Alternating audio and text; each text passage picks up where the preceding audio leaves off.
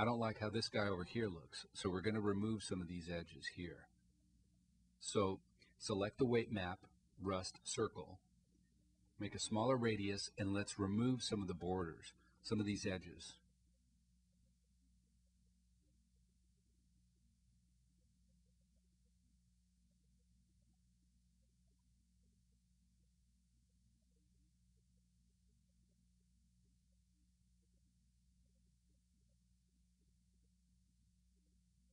Now that's a little bit better.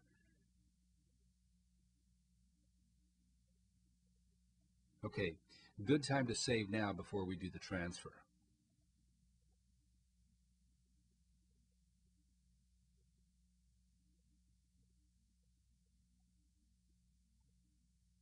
So now we're going to pass all the information, the color, bump mapping, and the dents to the low polygon door.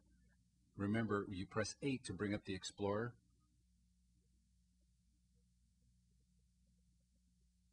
Now we have the low resolution door. We don't have any color or texture materials, so first thing we're going to do is to add a projection. So we go to Property, Texture Projection, XY. You don't see the texture projection because it's turned off, so I'm going to I'm going to turn that on now.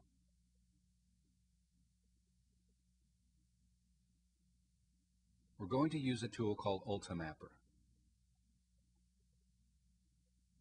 With the low polygon door selected, we have both low resolution and high resolution doors.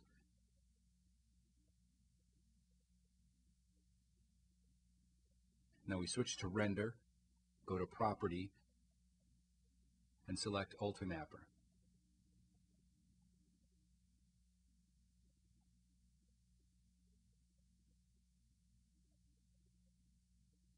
Here is the property page and it asks for the high resolution object. So we're going to pick the high resolution door. By selecting the name of the file we want to create in the image format, we can create JPEGs. The maps we want to extract are the albedo, which, which is the color map, the normal map, which means the bump map in tangent and normal space. And then we're also going to get the occlusion map. For now, we're going to do a low resolution texture and we can do a high resolution quality texture later. So the computer is going to determine the distance between the high res door and the low res door. So I select compute and there you go, it computes.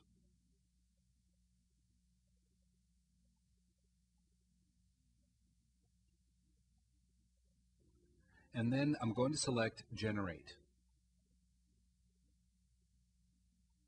Now this time we are working in a low resolution quality, so it's going to go pretty fast.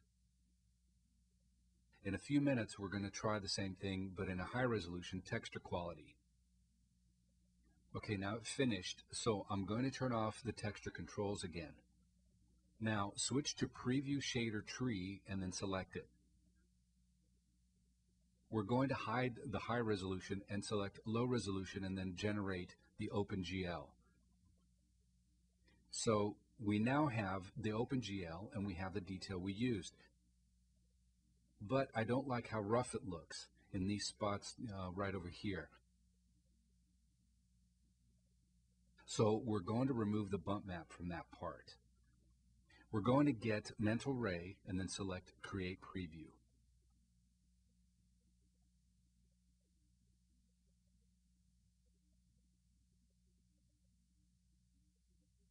Now we can see a render region. Selecting 7 will give us the occlusion map, the color map, and the normal map. And we're going to remove these two guys from over here. We're going to get the high resolution and then general. Select Door High Res. Press 7 for Render Tree. Select Image 2 and remove the bump map.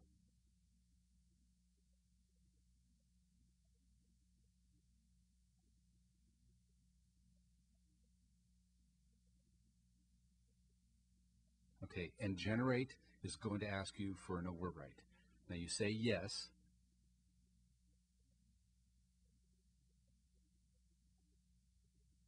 So we're going to preview, select high resolution, switch to OpenGL, and select create preview.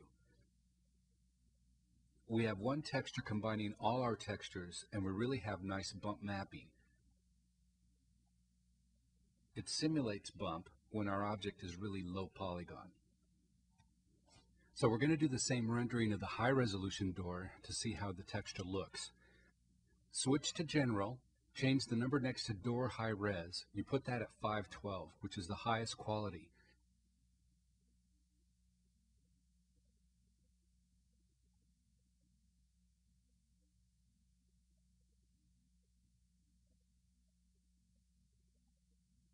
Make sure we have both doors and generate.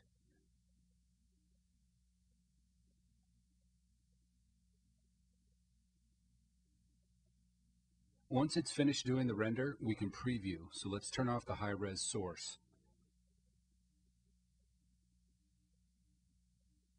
Right now, it still has to load the textures. So when you select Create Preview, it's going to switch to high resolution textures so we can see all the detail. Now we can also see the bump mapping, which is the normal map. These are the images it generates. We're looking at high resolution images saved off to the folder. So we can see all the layers combined together in a JPEG image with all the detail. And there we can see the occlusion map.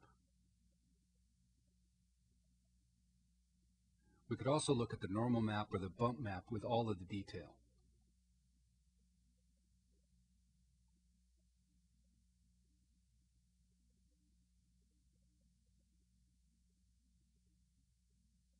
So I hope that you like this tutorial and hope that you'll keep working on the rest of the car.